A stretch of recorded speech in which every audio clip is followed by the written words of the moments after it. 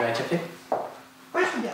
Tu peux me faire un tout petit volant Ambiance détendue ce matin dans le salon de coiffure d'Enzo Rosa, comme s'il était installé ici depuis des années.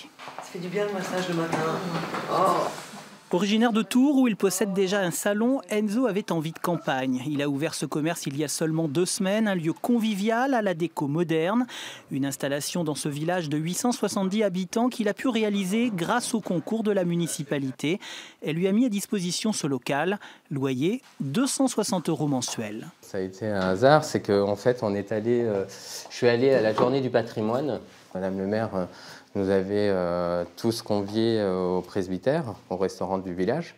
Et du coup, on, a commencé à discuter, qu'est-ce que tu fais dans la vie Enfin voilà, et du coup, j'ai dit, bah, je suis coiffeur, j'ai un salon de coiffure à Tours. Oh bah oui, et puis tout, tout le monde a commencé à dire, oh, ça serait bien d'avoir un salon sur épargne.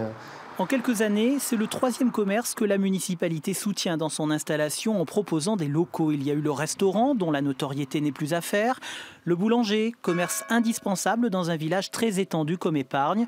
Aujourd'hui, un coiffeur. Les habitants encouragent ces initiatives. Il faut. Il faut parce que de toute façon après, ben, qu'est-ce que vous faites? Vous prenez votre voiture et vous allez euh, au village le plus proche après. Donc finalement, l'initiative de la municipalité, C'est très bien, très très bien.